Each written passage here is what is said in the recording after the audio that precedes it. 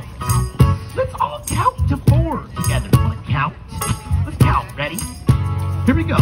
One, two, three.